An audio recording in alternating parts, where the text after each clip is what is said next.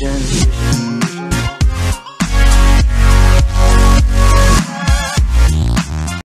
Hello guys! Welcome back to my channel at nandito naman si Els guys at ayun na nga guys dahil meron tayong napaka-importanteng pag-uusapan guys dahil importante to guys sa mga vlogger guys, na mga youtuber, na mga vlog ko at isa na yun yung nagsisimula pa lang na vlog yung mga small youtuber okay guys kung bago pa, pa lang dito sa channel mag subscribe ka na i-click mo yung notification bell para ma-update ka pa sa aking susunod na video ang ating pag-uusapan guys about sa new update ni YouTube.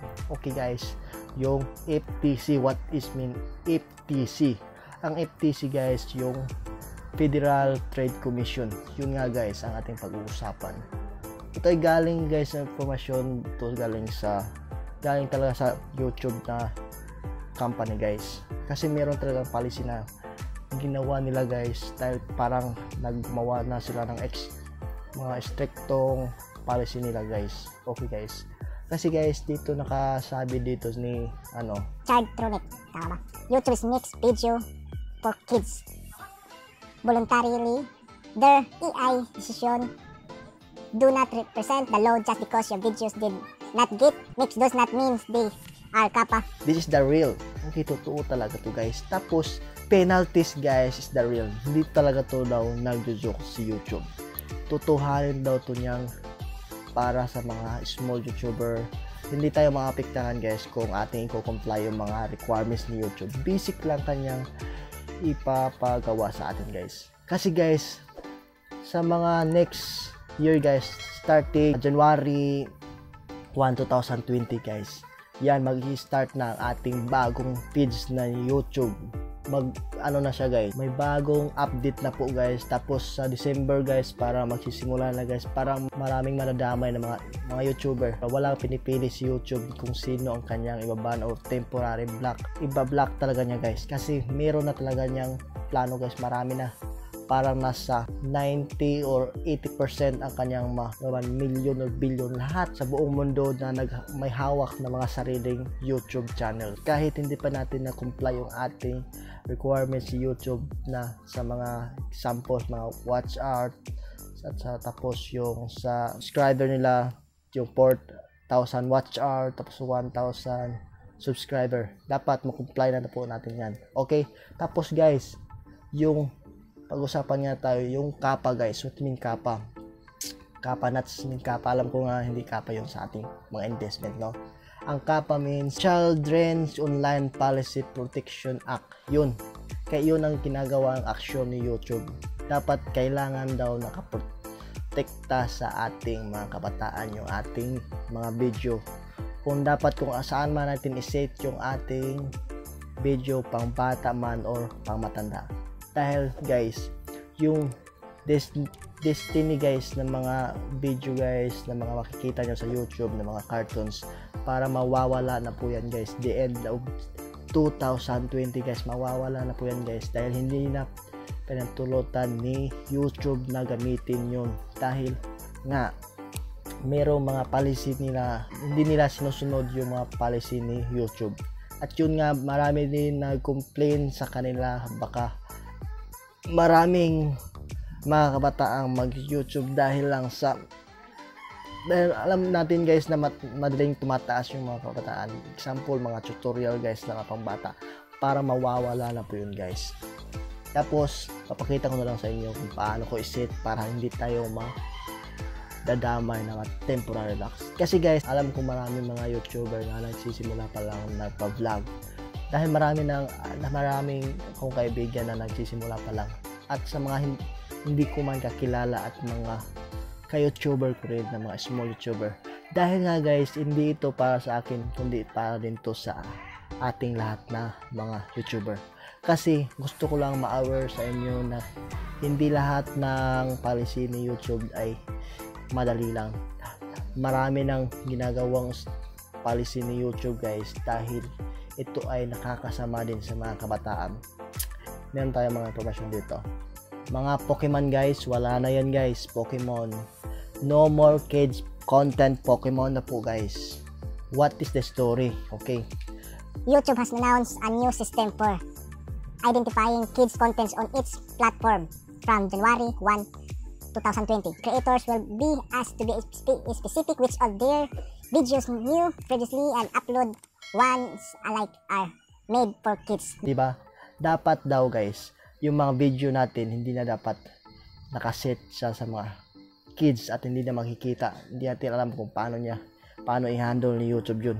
Malalaman at malalaman natin yun. Okay? At yun nga guys, ang gagawin lang po natin mga guys, yung isafety yung ating YouTube guys, YouTube channel natin, yung platform natin sa rin platform. Dahil yun ang napaka-importante guys. Hindi ito para sa akin nagpapasikat guys, di ba? Ito ay para ito sa ating mga small YouTubers sa lahat ng big YouTuber. Baka meron namang iba na hindi nakakaalam kung bakit kailangan nating i-comply ito dahil nga nag gumagawa siya ng policy si YouTube. At isa pa yun guys, meron pa akong konting ano, hindi ako kaano ka magaling sa pag-research ng mga kalaman, mga kalkal na mga kalkal. At least meron ako na share kahit konti lang. At least meron naman ako may share. Uh, attention to all YouTubers concerned about Kappa. FTC has stated that your content is considered directed to children just because it has a child audience as bright colors and animated characters will put your uh, your ass put at Okay, yan nga guys yung mga ano guys, sample gumagawa na mga lumilikha ng animation, ang mga an- naka-animated na mga video, binabawal na din yun guys. Hindi ko alam guys kung bakit kahit hindi ako magaling sa mga kawas. At least meron tayong mag masipti yung ating channel. At least meron tayong naalaman. Okay, at yun nga guys, binabawal YouTube na may nag-a-upload na pang mga animation, bawal na yun YouTube guys. Pinagbabawalan talaga niya guys. Yan nga ang kanyang ano guys, bagong rules ni YouTube. New platform na po tayo guys. At grabe naka-strict to guys. Yun nga guys, naman nagsisimula pa lang nagba-vlog dyan. Kahapon pa kayo nagsisimula, yung araw pa kayo nagsisimula, at yung last year pa kayo nagsisimula at hindi pa na-comply yung ating at isa din pa yung yung kahit yung na-comply na mga YouTuber na mga requirements ni YouTube at yung mga video nyo do, dapat guys isit na po ninyo na para hindi ma-detect ni YouTube yung inyong mga video. Kahit hindi po yung pambata yung video nyo kailangan nyo pong isip yan. Wala pong ibang makakasave sa inyong platform or sa YouTube channel nyo kundi kayo lang. Kasi kayo lang ang nakakalam sa inyong account kasi guys, ang mangyayari at mangyayari po dyan, pag hindi po nyo ikinumply yung requirement ni YouTube, siguradong shutdown po yung account. Tapos mawawala po yung account ninyo. Hindi na po yan mag-open. Kasali na po yung Google account ninyo. Tapos Gmail nyo, hindi na po yan ma-open. Yun nga, mag-shutdown. Automatic shutdown po yan. Yun nga, kailangan ko lang i-share dapat patibayin po natin mga small YouTuber natin na gawin po inyo ang requirements ni YouTube. Kahit huwag mo na tayong madali lang po guys. Madali kahit konting oras lang po nyo gagawin to guys kasi napaka-importante to guys dahil ito ay para sa ating lahat. Okay? Yun nga, kailangan lang isip natin ang ating kasi masayang naman kung mawawala at isa-shutdown ni YouTube. Ma marami talagang mawawalang mga YouTube channel pag hindi nyo na-comply ang mga requirements ni YouTube. Dahil pag hindi mo sinunod yung requirements ni YouTube at ikaw pa ay nagsisimula at malapit na ma-comply yung requirements ni YouTube tapos yung watch hour 1 subscriber 1,000 subscriber and 4,000 watch hour na comply mo na tapos na na monetize ka na tapos hindi may isa pa palang requirements ni YouTube na kailangan mong i-comply. Yung sa kapa. Dapat ma-comply mo yun dapat. Dahil yun ang pinaka-importante guys. Dapat alam po natin yun. Okay? Ito ay para to sa ating mga kabayan ng mga YouTuber. At least meron tayong idea kung paano i-save yung ating YouTube channel. Yun nga kailangan kong gumawa ito para naman merong makapansin kung ano ang bagong roles ni YouTube. At yun nga, sayang nga yung mga Destiny guys, yung mga Pokemon, yung mga Exanter, Exanter. Hindi ko alam guys kung sa ano guys, sa Mobile Legends hindi ko alam kung mga damay ba yun parang hindi yata yun mga animated talaga guys yun sigurado shutdown automatic yun guys meron akong nakitang comment dito sa ano galing kay Pere Grips tama ba Grips Dear YouTube, YouTube creator, have any of your noticed that your videos making for kids do, do not show up in a Google search? It is as if Google is censoring all of my wholesome kids friendly videos. No running tacos, no space unicorn. I hold it to help kappa. ano gets ko lang ang naalaman ko dito dapat hindi siya ma-search na sa Google di ba yun ang sabi niya dapat daw pag search niya example sa mga ganun na mga ganun example mga ganun ganun na mga ah Tom and Jerry. Tom and Jerry search example Tom and Jerry. At doon ka mag-search sa Google Tom and Jerry. Dapat pag click doon hindi niya automatic makita yung mga cartoon ng Tom and Jerry. Dahil yun ang ginagawa nga nila ni YouTube. At yun din ang gusto ni Perry Grip. Ah, ito pa guys. Sabi dito, Creators are subject to potential fines for running a pool of kappa according to FTC that is law allowed to severe, severe penalties of up to 42,530 dollar. Yan nga guys. According to according. According to um, the company company financial risk penalty risk uh, penalty business uh, lagbog. At ayun nga guys, per video yun guys. Pag hindi mo ma-comply yung requirements ni YouTube, at example, merong na-detect ni YouTube na mga video na mapangbata guys, tapos na-set yung video mo pangbata, yun, may penalty ka guys, na automatic na 42,530 dollar. Nakita ko sa ibang vlogger, totoo daw to. It's a real daw. Yan ang penalty mo, my God. Kalaking-laki yan. Kung i-convert mo sa Philippine money magkano? 'di ba compute mo. Yan wag nating pagkait ang oras na para sa ating channel dahil pag ito ay ma-detect ni YouTube automatic shutdown talaga to guys. Automatic shutdown talaga to. Kawawa naman yung ating pinaghirapan.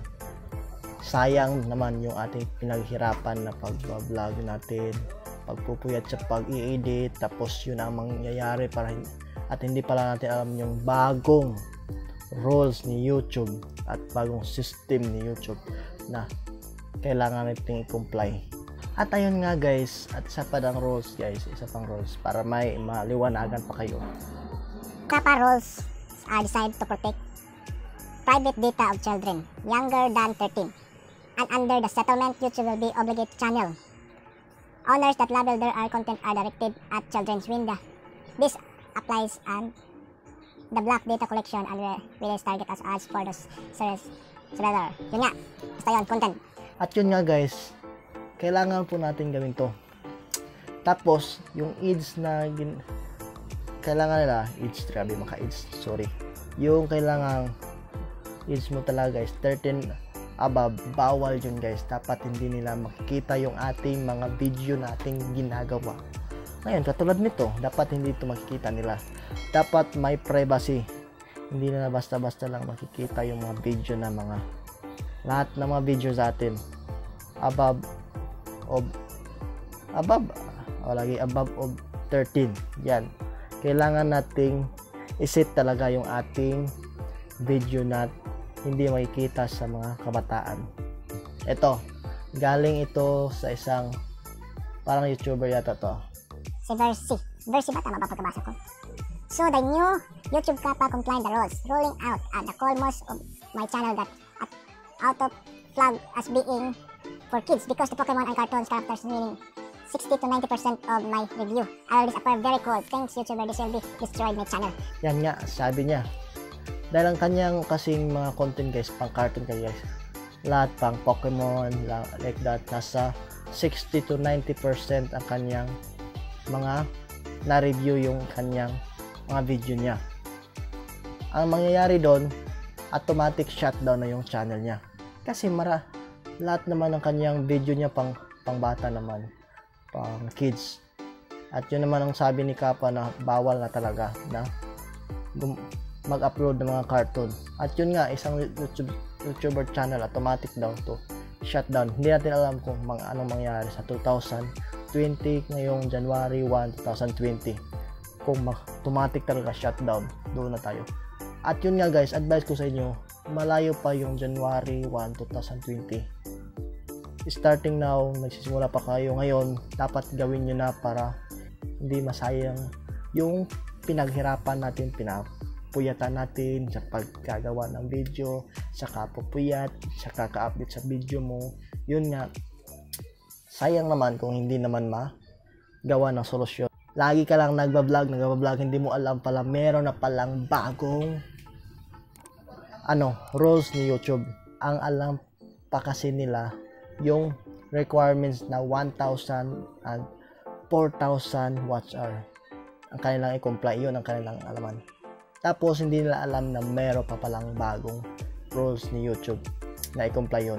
Yun nga, kailangan nating gawin yun para wag na nating antayin ng takdang panahon at mag-shutdown yung ating channel masasayang at masasayang talaga yung ating pinaghirapan. Tapos meron akong sample video dito, no? Ipapakita ko na lang sa inyo kung paano i-set